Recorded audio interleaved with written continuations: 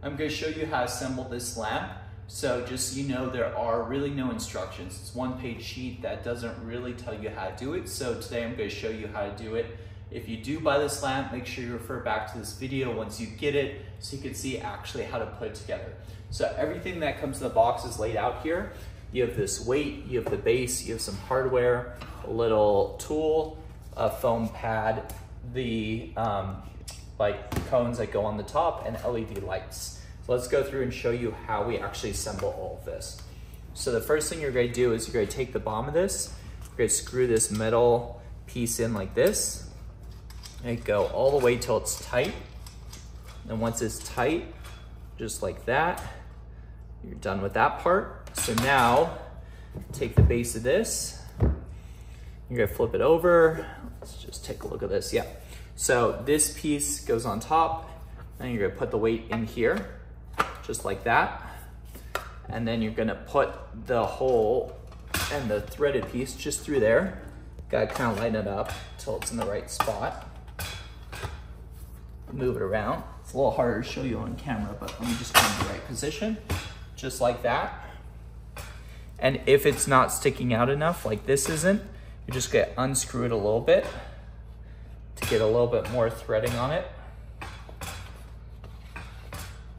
Just like that. So now there's enough threading on it. And what I'm gonna do is just kind of rotate it around. So now I can add the washer and the nut on. Actually, let me get a little bit more threads on this, just so I can tighten it down easier. Easiest way is just pop that off. You're loosen this a little bit more.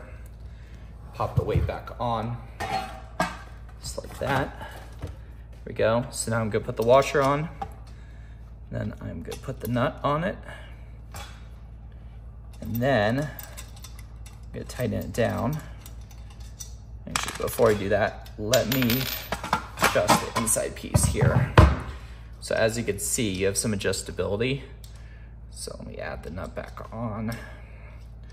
Just trying to get in the right position so we have enough threads. So one thing I wish is that this was a longer threaded piece because it doesn't really need to be this short. I don't know why it's this short, but could have given us a little bit longer one, but that's all right. So let's get back it out to the point we need. we're gonna take the tool, just gonna tighten it down a little bit.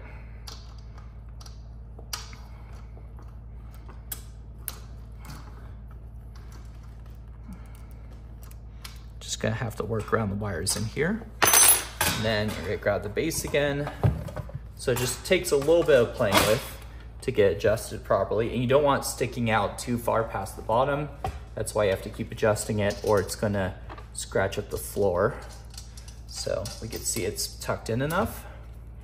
So now we're gonna tighten that down. And we're gonna use the wrench, tighten it all the way. Just like that. On the bottom. Just good go till it's tight. Just like that. Keep going. All right, now it's, now it's nice and tight. So then this piece goes on here. So we're gonna peel this back. This is just like a foam piece, so it protects the floor. Just gonna peel like that. That off of it. Start on one side. And it just kind of sticks on like that. So you can see. Perfect. And then we're gonna pop it up. We're gonna add the cones on the light. So each one of these has a plastic cap that unscrews. So what I would do personally to make your life easier, I'd put your bulbs in first. You just pull them out of here. They just look like this, they screw in. Because the bulbs are straight, you could do them first. If they were curved, you would have to put the caps on, then the bulbs.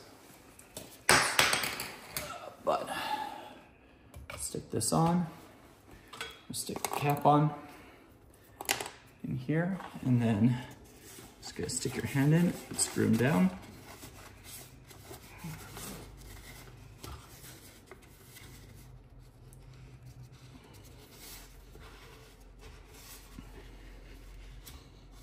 It helps if you have someone with smaller hands than mine to do this, but that's basically it. And then you're gonna do the rest and then you're all set to go.